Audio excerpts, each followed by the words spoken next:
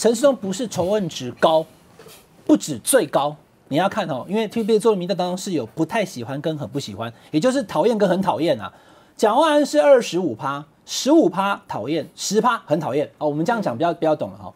这个讨厌跟很讨厌，很讨厌的比较少哦。可是陈世忠完全不一样，他倒过来反而是讨厌的十八，非常不喜欢的三十三，仇恨值爆表。如果照这来讲的话，你看哦，黄珊是这样子，十三七，所以最讨厌黄珊珊的哦七。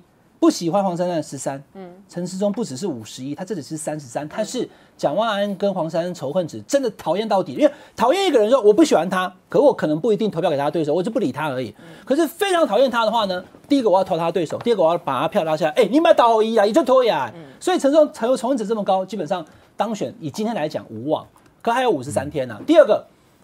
弃陈保黄哈，也就是弃掉陈时中，把票投给黄珊珊，这个基础。最近有很多网友写信给我，问我会不会发生，我是觉得不会。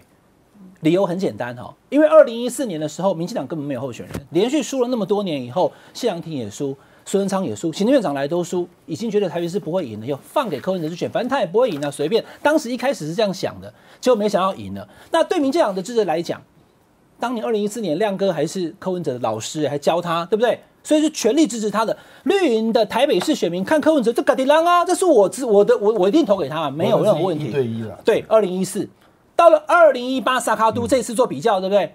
他当时在看柯文哲，四年前观众朋友还觉得说这个有一点哈，就是我们已经没有那么好了。可是要让丁守中当选吗？民进党觉得不要，一半自己人。可是观众朋友过去这四年。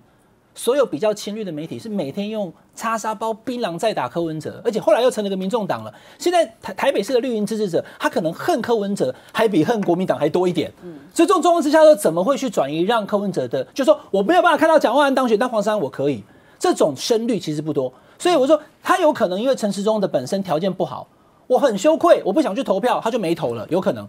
但你要说啊，我为为了不让蒋万安当选，所以我宁可王当当，把所有陈忠票都投过去，就像姚文智那样子。我讲哦，其实姚文智也没有 也没有那个条件，他是因为四点过后了，大家还在排队，一看到就是这绝对不会赢的，已经已经就是就没有任何希望的时候，没有悬念，所以才改投过去，不知道多少票了哈，可能一票，可能一千票，可能几万票。那今天这个状况，我们今年没有十大公投，不会拖到两点啊。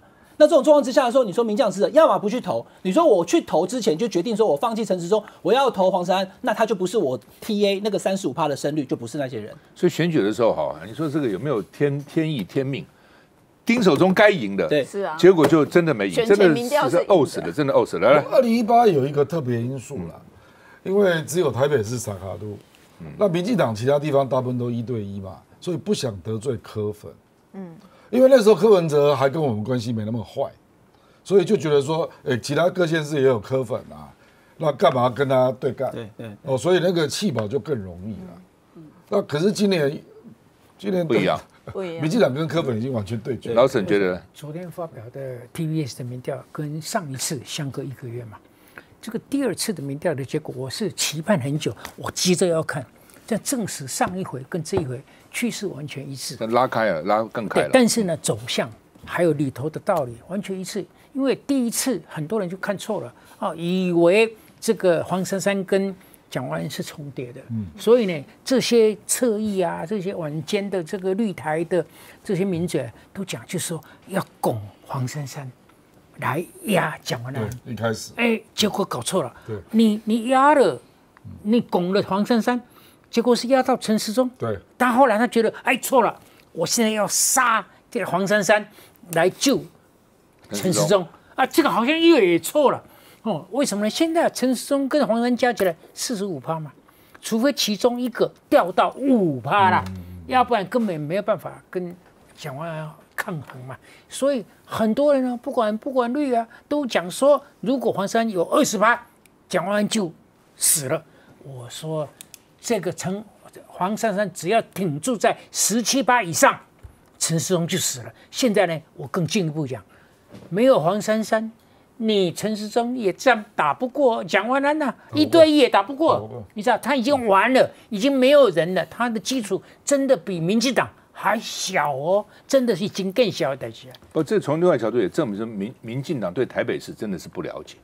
他以为用他一套的想法，就没想到结果是这样。请支持一个专门报道国际新闻的全新 YouTube 频道 TVBS 国际 Plus，扩大视野，掌握趋势，请订阅并开启通知小铃铛。